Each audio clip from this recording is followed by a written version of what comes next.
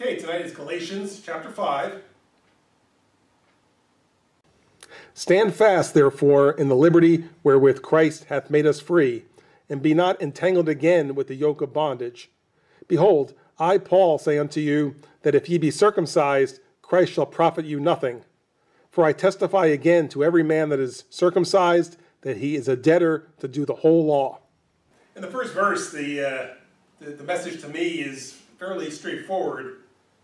What Paul is saying is, don't look back. Okay, you've come this far.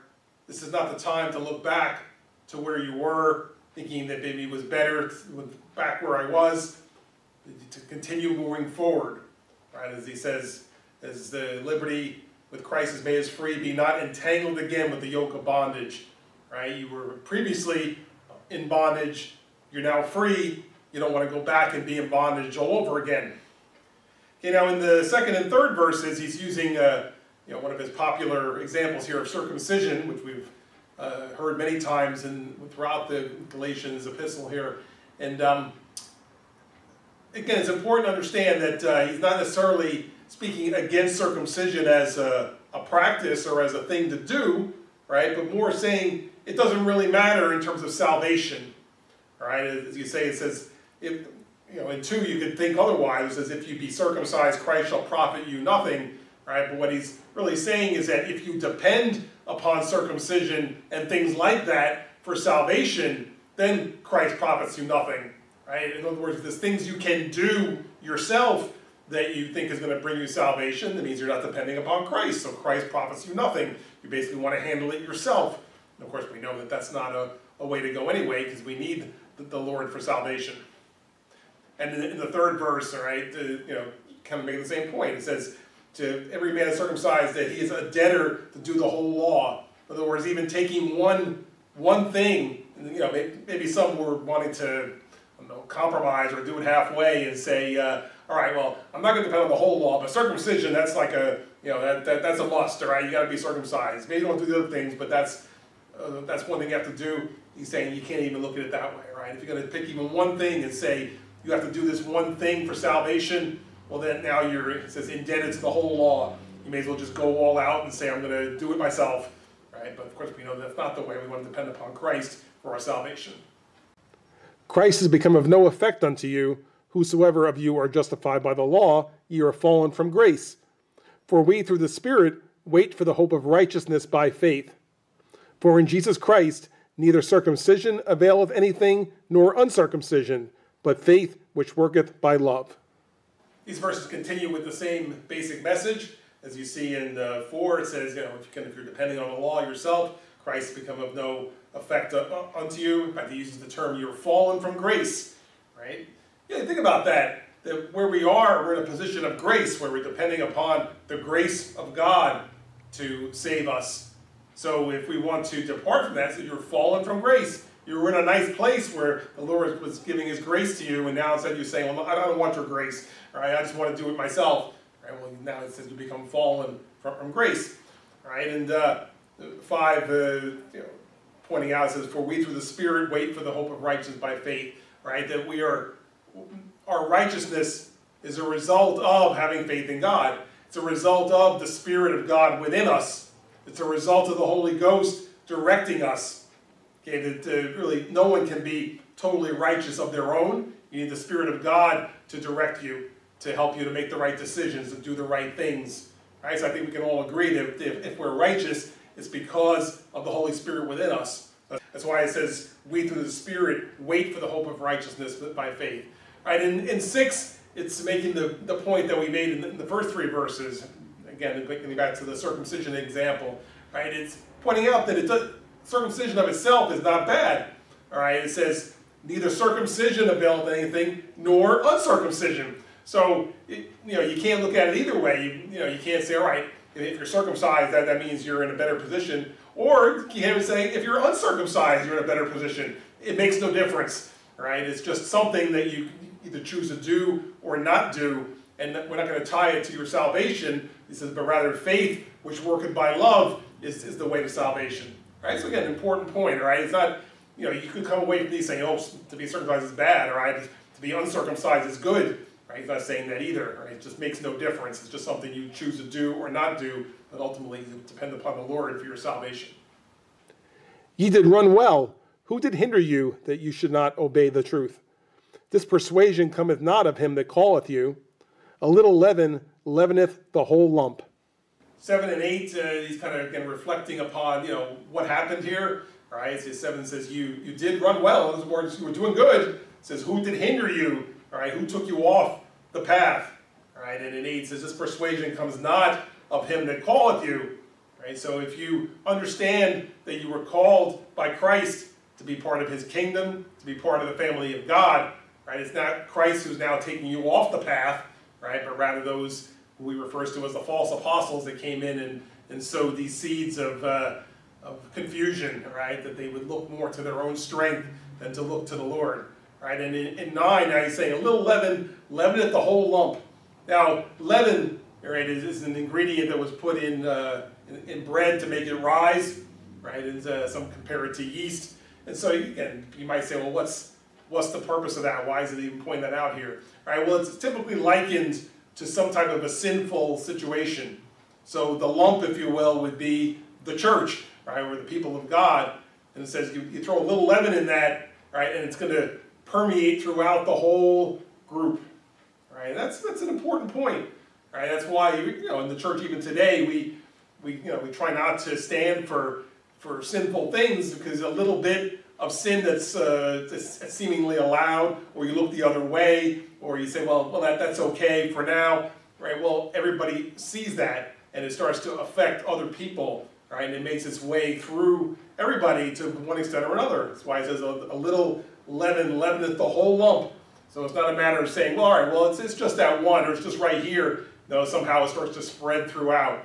And so that's why it's just not a good, a good condition. And the, uh, example he's using it for here is that so if these uh, people came in and were spreading these, little things about you know don't don't depend totally on Christ you know look uh, take care of yourself do the right thing as far as the law goes get circumcised etc right well that starts to now permeate out to where the whole group is affected and that's really what Paul has found with the Galatians is that there's everybody is now turned around from what they were originally taught that's why he's saying a little leaven leaveneth the whole lump. A, a little bit of sin, a little bit of misadvice, a little bit of confusion makes its way and affects everybody. I have confidence in you through the Lord that ye will be none otherwise minded, but he that troubleth you shall bear his judgment, whosoever he be. And I, brethren, if I yet preach circumcision, why do I yet suffer persecution?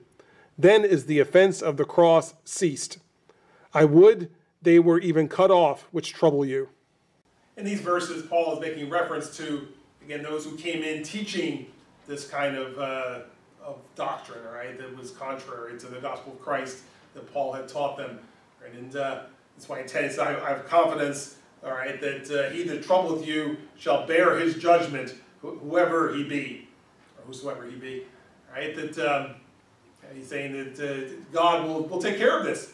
Right? That, that if it's the incorrect teaching and uh, they're teaching you ways that, or have taught you ways that are taking you off the path, God will deal with them at, some future time because God's not pleased when uh, people are teaching other people the, the incorrect way to, to serve Him. And in fact, it, uh, it reminds me of uh, a scripture that, that we had studied another time in the, in the book of James, chapter 3, verse 1, where it says, My brethren, be not many masters or teachers, knowing that we shall receive the greater condemnation. Right? He was speaking to those who wanted to be teachers over the, the people of God and said, be careful about that because you are opening yourself up to a greater condemnation in terms of if you teach them wrong, right, God's not going to be pleased. Well, that's what was happening here with Paul referring to these other ones who had done this teaching that, uh, you know, that, God will, will deal with them.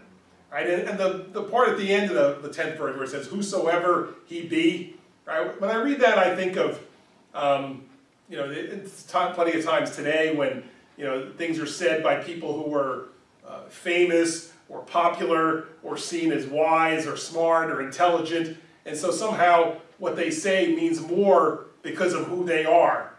And quite frankly, that's just not a valid way to look at it, right? That uh, because, you know, you could get anybody who's, like I said, popular, or famous, whatever, to say something and then people are going to believe it.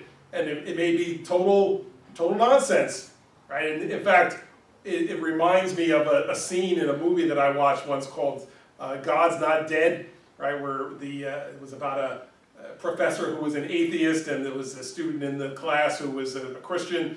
And so the student was given the chance to try to make a pitch to the class as to, you know, that God existed.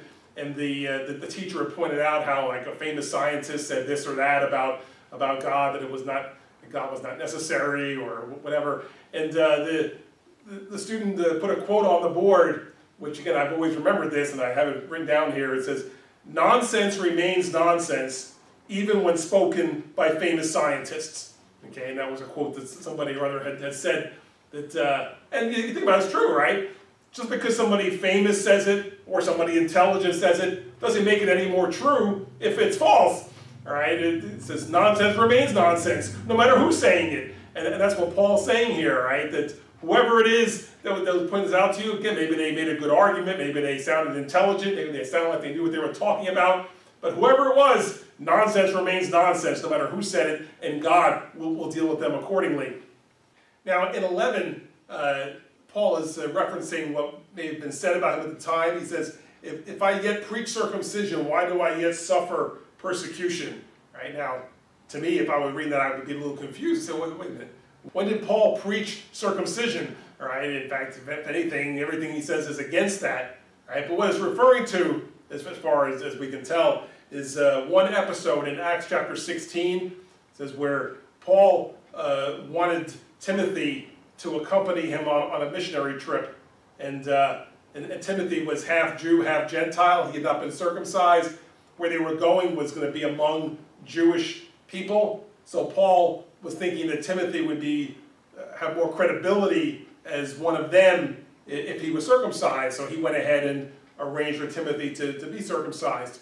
So, you know, it's funny how that kind of uh, episode gets around. See, you, you make maybe what seems like an exception one time, and now people start saying, oh, yeah, right, you know, you, yeah, you, you speak against circumcision, yet you, you went and had Timothy circumcised, so what, what's up with that, all right? So in that particular instance, Paul had a reason why that made sense. It was more that Timothy would be, let's say, more credible with the audience that they were going to uh, address for, for Christ. And it reminds me of another scripture that, uh, that Paul had written, right, where he referred to himself as being willing to be all things to all people that I might save some. Right? And, and I, you know, I've often remembered that, right? That, you know, in certain things where it's not, you know, tied to, to the gospel or the doctrine or so forth, we can have some flexibility to help us reach other people, right? For example, I mean, let, us say if here in, in, the church building, right, let's say we were going to have a special day for homeless people to come here, right, and we are going to share the love of Christ with them, let's just say, okay? Now, would it make sense on that particular day for me to come in dressed in, in my best suit and tie and expensive shoes and, and so forth, right?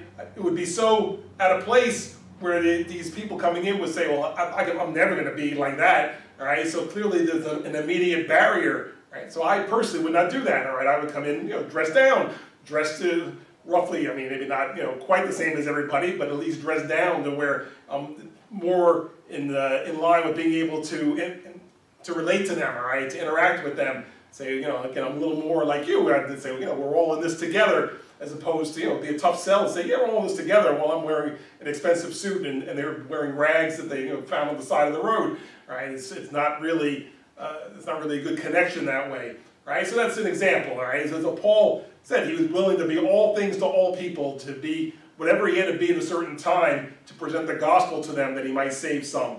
So that was his general way of, of looking at it, right? That he was willing to, to be flexible. So that's what this business about him preaching circumcision was about. It's not that he preached it, it's that for that one time he recommended it because it was going to work better to save others for the cause of Christ, right? So then in, uh, in, in 12, he concludes his part by, again, referring to those who sowed these seeds of discontent, right? He says, I would they were even cut off which trouble you, right? Just, you know, I, I wish they would go away. That's really what he's saying, is that, uh, you know, God will deal with them. You know, they guess they've confused you. Don't, don't be confused, and I wish they would just, just go away and not bother you anymore. For brethren, ye have been called unto liberty. Only use not liberty for an occasion to the flesh, but by love serve one another. For all the law is fulfilled in one word, even in this Thou shalt love thy neighbor as thyself. But if ye bite and devour one another, take heed that ye be not consumed one of another. Now, here Paul is uh, addressing the, uh, the liberty that's uh, offered to people in serving Christ, right? That, uh, you know, too many times you people take the idea that, well, liberty means I can do whatever I want, right? And that's what makes people, you know, kind of pause on that, right? To say, well, is that really what we're teaching? You do whatever you want, right? Because that's what liberty or freedom would certainly sound like, right? Well, of course, of course, we've taught that's not the case. Liberty means you're free to follow the Spirit of God, which will lead you into proper activities, proper way of thinking, and so forth. All right, but here he's saying, if you've been called to liberty, don't use it for an occasion of the flesh. In other words, don't use it just for yourself, but rather seek to, to help others, to serve others. It says, but by love, serve one another. Right? And that by doing that, you're even fulfilling one of the, the commandments of Christ, as it says in 14, thou shalt love thy neighbor as thyself.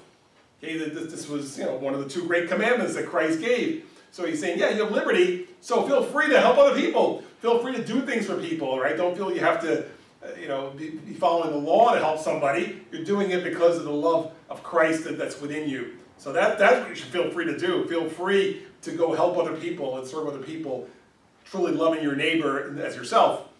And in uh, 15, um, it kind of you know, refers to if you were to take it in a different direction, right? It says, if you bite and devour one another, look out that you're, that you're not consumed one of another, right? So if that's the way you want to live your life, right, is by hurting others and uh, trying to climb over people and, and so forth, you know, for, for gain or for advancement, well, if that's the way you want to live, that's, that's up to you. But you should probably expect that others will do the same to you, right? So if that's the kind of world you want to live in, the kind of life you want to, you want to lead, right? I mean, I guess it's your choice, you know, you have freedom, but expect that then others will do the same to you. So in other words, that's not what he's recommending, but rather that you would show love to everybody, and if you're showing love to everybody, then you would rightly expect that hopefully people would show love back to you as well. This I say then, walk in the Spirit, and ye shall not fulfill the lust of the flesh.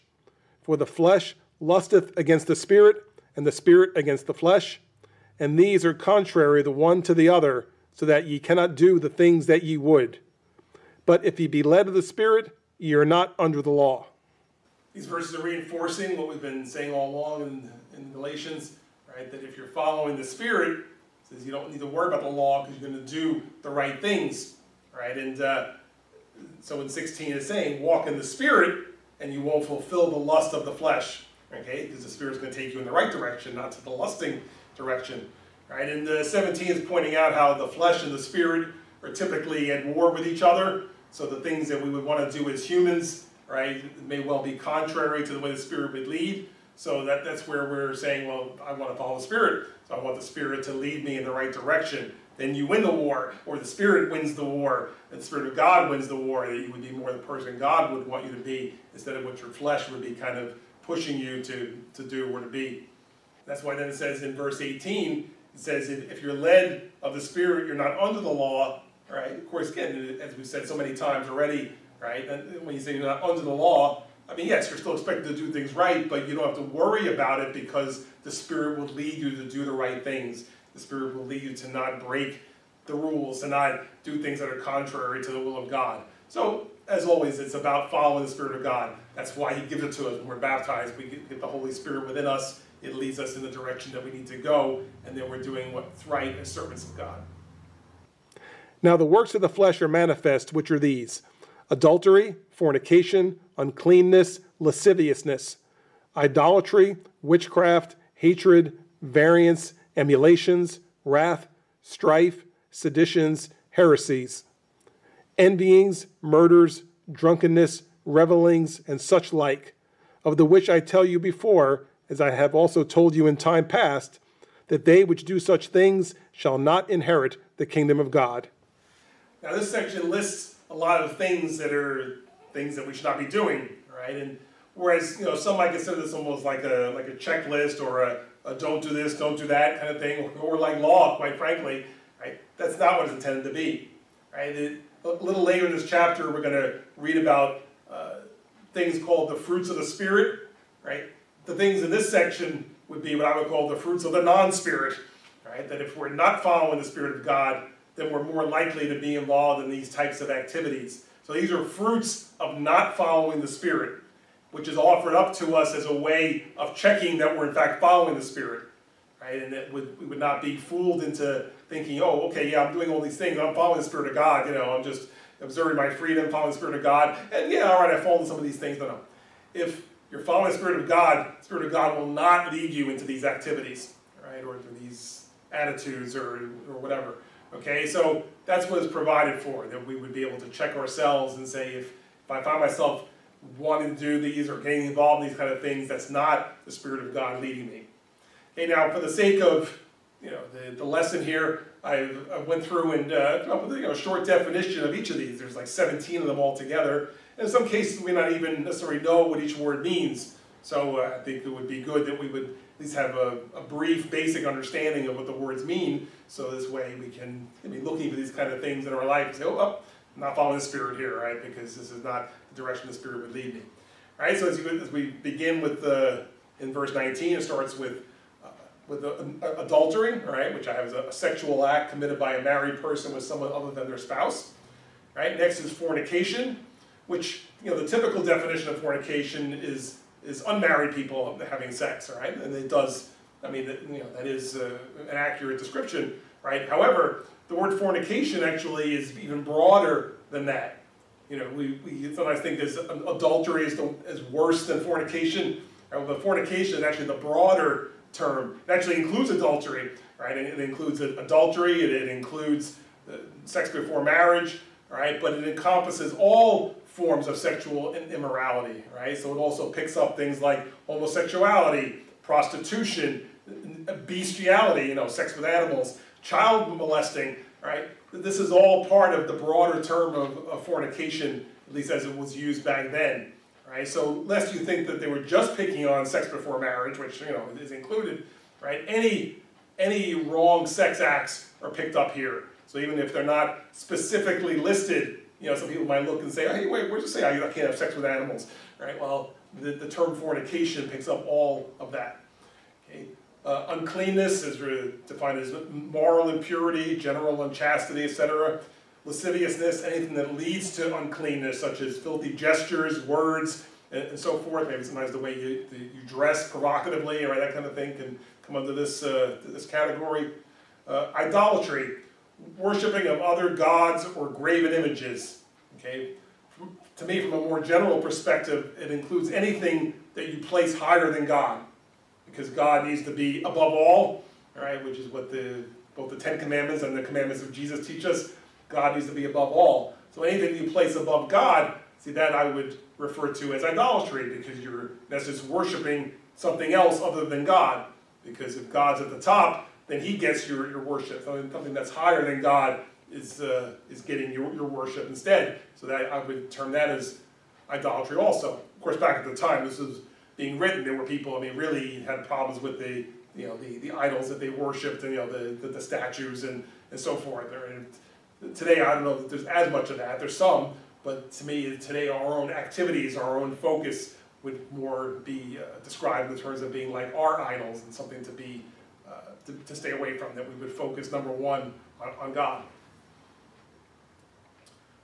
Witchcraft, all right, can, to, can be uh, any uh, attempts, whether real or imagined, to converse or interact with spirits other than God.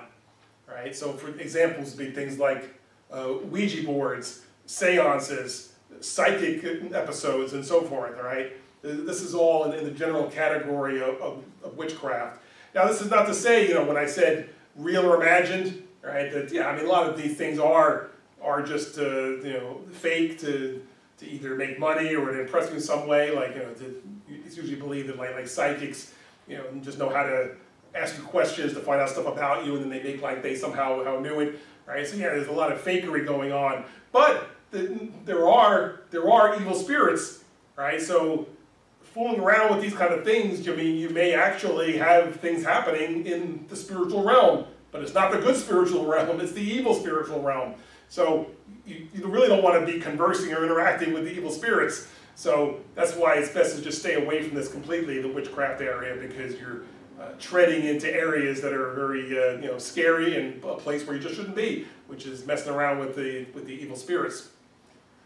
Uh, hatred, extreme dislike for a person, which can include wishing or even contributing to evil against them. Uh, variance, now the, the, variance in this context is, uh, is difference that produces dispute, controversy, discord, discord, or dissension. Right? So, you know, someone who is a, a, a variance type person just means like you know they're a, a difficult person. They, they they bring about dissension and discord and so forth. Right? They're a disagreeable kind of person. I guess would be another way of uh, doing it. You know, you're some, you're a troublemaker. Right? Someone who stirs up trouble between other people.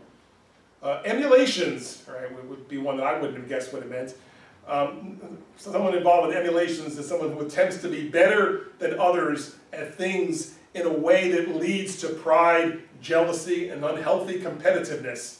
Right? Now, it can be a can be a, a, a, good thing if you confine it to just being the best you know that you can be. I mean, there's nothing wrong with trying to be the best you can be. But when it reaches the point of, well, I, I want to be better than this one and better than that one and be the best and be recognized and so forth, well, then it, to me it's an unhealthy thing, right? So that's your emulation, somebody who's always wanting to be better than everybody else and be recognized as better than everybody else. It's definitely a pride thing which causes jealousy, envy, and so forth. Uh, wrath would be anger to the point of desiring to take action against against someone. So it's just even more than being just angry. It's angry to the point where you really want to want to hurt somebody. You want to really or strike back at somebody. That's uh, that's your wrath. Uh, strife is is angry contention, quarrel, war, etc. Right. So an, an angry sort of a, of a contentious uh, situation.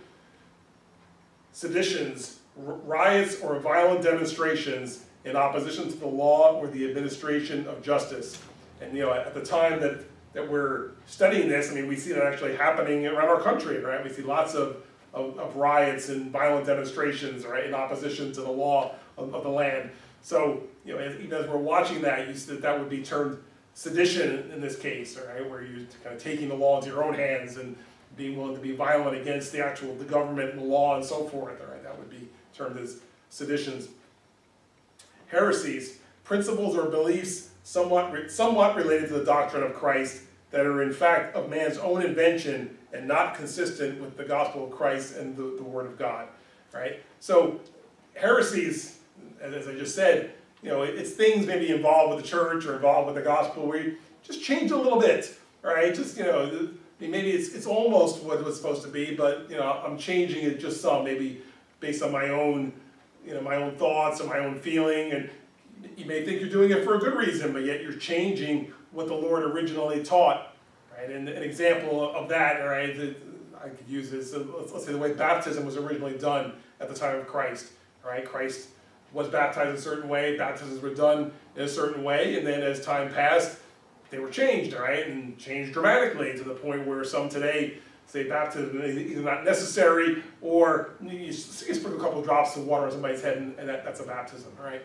That to me would be a heresy because if, where in the scripture do you see that? A couple drops of water on the head and baptized, right? So changing the things of God, the, those are the heresies. And we believe in the Church of Jesus Christ that there were many heresies committed in the early church to the point where there was what we refer to as an apostasy, right? That, that God's authority actually departed for a time and was restored in the early 1800s Uh, envyings, extreme jealousy resulting in bad feelings towards those who have what we would like to have, right? So it's, a, it's an extreme jealousy. Murder is the unlawful taking of another person's life. Drunkenness, when someone is intoxicated due to excessive drinking of uh, alcoholic beverages, right?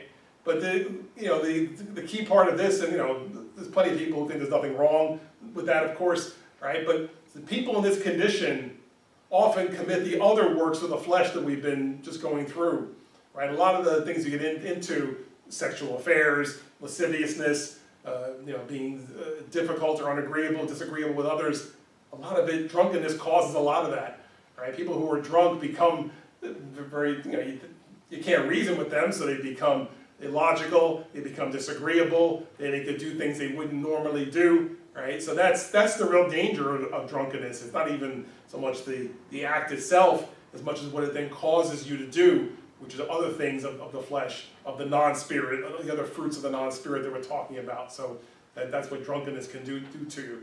And then finally, revelings. Uh, another word for that might be what they call today partying. See now, when I was young, all right, going to a party was you know, was just a nice nice thing, a nice get together of people, all right. But today, partying is something totally different, all right. It usually includes things like drunkenness, lascivious behavior, and so forth. That's that's partying. You go out and get drunk and get crazy, right? Well, clearly, as servants of God, that would not be something we, the Spirit would would lead us to, right? So as you consider all of these things, right, these are, as I said, what I would call fruits of the non-spirit fruits of the flesh, if you will. All right, so following the flesh, these are the kind of things that you get involved in. You it's not to say that every one of these is, uh, you know, is, is, illegal, all right, or uh, you know, or some even wouldn't necessarily consider it wrong, but it's not a place where the Spirit of God would lead you. Right? These are not things that you would be involved with as uh, a, a servant of Christ. Now, if you see the last part of this where it says, "They which do such things shall not inherit the kingdom of God." Now I want to comment on, on that for a moment that, you know, certainly in reading that it would sound like, you know, if, if you do these things, you're like out, you're, you're disqualified, right? Now, first of all, I mean, anything can be forgiven, right? Although there is scripture that says murders are a tough one to be forgiven of, but nonetheless, anything can be forgiven, right? So if you repent of, of any of these acts, you can be forgiven and you can enter the, the kingdom of God, right? But more, it's I think the point that it's making is that remembering again, these are the fruits of, of the flesh and of not following the Spirit. Well, if you're not following the Spirit, how are you going to find your way to the kingdom of God? All right, it's not like you can just stumble into it unawares. The Spirit has to lead you there. The Spirit leads you to the kingdom of God. The Spirit leads you down a path that will allow you to inherit the, that eternal kingdom when you depart from, from this earth. So if you're not following the Spirit, you're not going to find your way there. And that's really, I think, the point I'm trying to make here is that if you find yourself doing these things, it means you're following the flesh instead of the spirit, and then that's you're not going to be led to the kingdom of God, which is really where you want to be if you're if you're you've been converted and you have the spirit within you. That's where you want to be led, the spirit to lead the kingdom of God. The works of the flesh will not lead you there. The spirit of God will. But the fruit of the spirit is love, joy, peace, long suffering, gentleness, goodness, faith, meekness, temperance. Against such there is no law. These two verses are the ones used most from the from Galatians. All right, that if you've ever heard people quote from Galatians, this is probably the, these two verses because it's what's known as the fruits of the Spirit. Right, um, you know, if you grew up coming to church, coming to Sunday school, you probably had some Sunday school classes about it. Maybe your Sunday school room had the fruits of the Spirit up on the wall. Right, that this is a popular uh, two verses here. Right? And now there are, nine things listed here as fruits of the Spirit. As I pointed out in the other verses, whereas those were fruits of the non-spirit or fruits of following the flesh, these are the good ones here. These are the ones you follow the Spirit, and, and these are the fruits you should see coming from your life. Again, not something to be, well, a checklist, all right? You know, got it, got it, got it, don't got it, all right? But rather, you should see these things happening, right? It's not, it's not like it's law, but if you're following the Spirit, living by the Spirit, these are things that should be part of, of your life. Right? So again, we'll I'll, I'll go through these briefly. Right? The fruit of the Spirit is, is, love. Right? Now the kind of love we're talking about is obviously not a romantic love, but it's, it's a love for mankind. It's a love that's it's a decision that you make that I'm, I'm going to love mankind in spite of, of, of what they may do, in spite of who they are, even in spite of how they treat me, right? That, that I would seek to show love to everybody, to, to love mankind, love your neighbor as yourself, right? This, this would be the number one fruit of, of the Spirit. Okay, joy uh, would be joy in our life is, is not just a, a plain happiness. Right? Maybe people who are happy in life, happy because of what they've accomplished or, or who they're married to or how much money they have or or the kind of home they live in, or the kind of vacations they go on, or whatever. Right? That, that's you know that's all good things and happy things. Right? But that's not the kind of joy we're talking about. The kind of joy we're talking about is something that's with you every day of your life when you give your life to the Lord. Right? It's not dependent upon your circumstances. It's not dependent upon uh, you know how, how much money you're making. It's not dependent upon whether things are going your way or not on that particular day. Right? the, the, joy, it's the joy of salvation. It's the joy of knowing you were living in sin, you were on the path to eternal destruction, and Christ snatched you from that path and put you in a different way of life, put you in the family of God.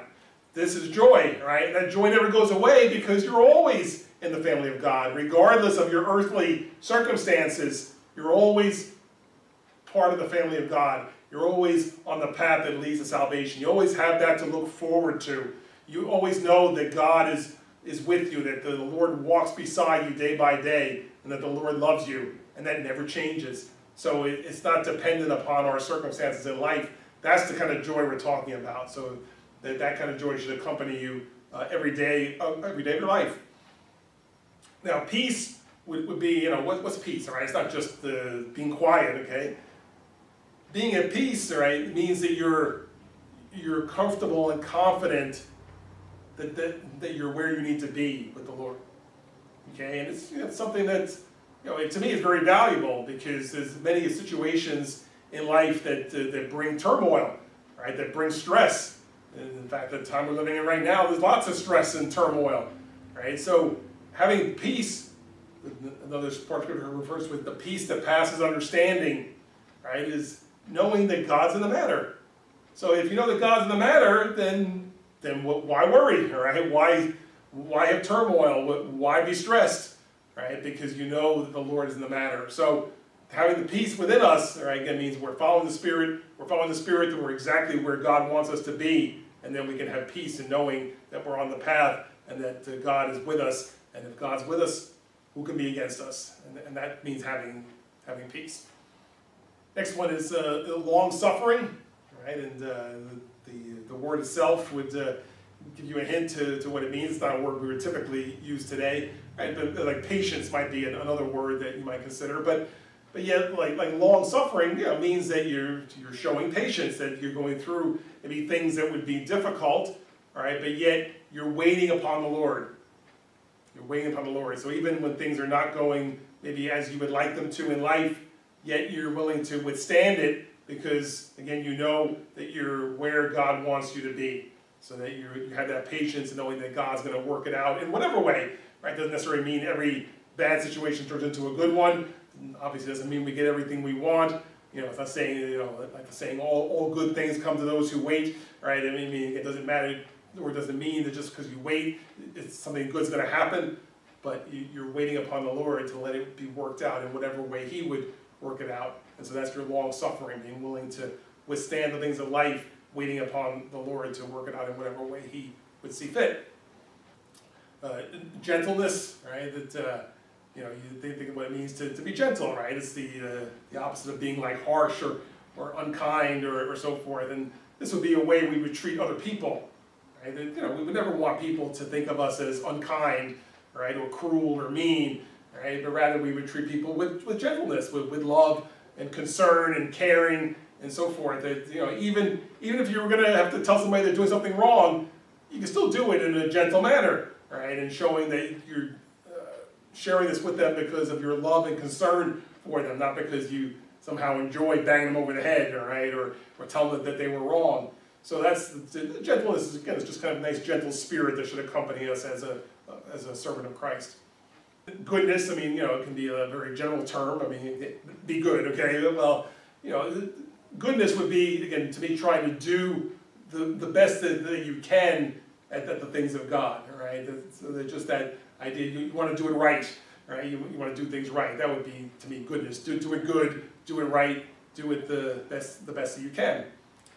Uh, faith is, is, I mean, your general definition of faith is, of course, believing in things not seen, right? But uh, being faithful to the Lord, right, it means, you know, you're willing to, to stick it out, you're willing, you know, which can also be called long suffering, I mean, you're willing to depend upon the Lord, even when you don't see things working out the way you, you think they should, right, yet you believe in God enough to say, God's in the matter, God's got this, right, that's, that's having faith, as opposed to, you know, when something goes wrong, you're immediately ready to throw up your hands. Okay, you know, you know, God doesn't exist. God doesn't care. I'm on my own, right? Well, that's that's the opposite of that, right? Living with faith means that we're trusting that God is in the matter and that He's going to work things out the way He would want them to be worked out.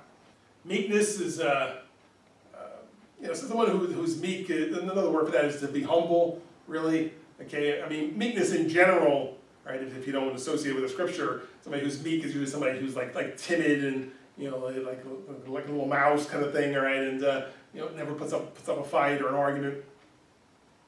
To me, that's not what scripture means by meekness, all right? Meekness means being that way between you and God, all right? That you're humble before God, all right? And and, uh, and also, you know, you can still uh, convey a humble spirit to other people without necessarily being seen as as weak or timid or so forth. Right? In fact, one saying that I heard is, is meekness is not weakness. Right? You don't have to be seen as weak and timid and giving in on everything. The idea is that you're humble, but still, you, when the time comes to stand up for what's right, stand up for the things of God, that, that that's there as well. Right? You want to stand up for the things of God, but it's not necessarily you have to have your way all the time. So in every single thing in life, but you just stand up for the things of God, and other things you're humble and pliable and treating people in a way that's not doesn't come off as proud and uh, you know that, that I, I know it all and, and it's got to be my way and so forth. All right, that to me would be more the opposite of, of being meek. So being meek is uh, again just being humble, able to get along with people, but just standing up for things of God when when the time is right to do so. And finally, uh, temperance. Uh, another word for temperance is, uh, is self-control. All right, so you know, being being able to again control our own actions, control uh, you know what we do, what we say.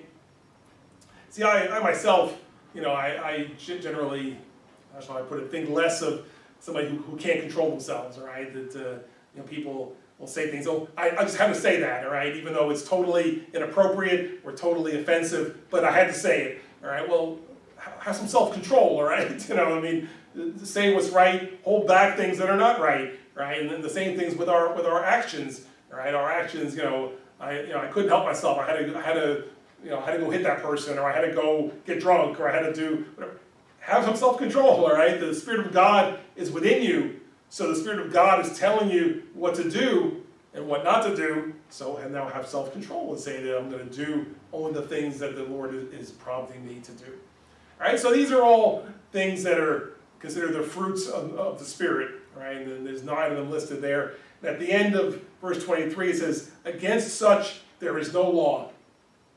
See, so feel free to do them, right? And feel free to do as much of them as you want, right? There's no law that says, you know, you're, you're giving too much love, or you're, you know, you're giving too much kindness, or whatever. There's no law against that, so these are the fruits of the Spirit.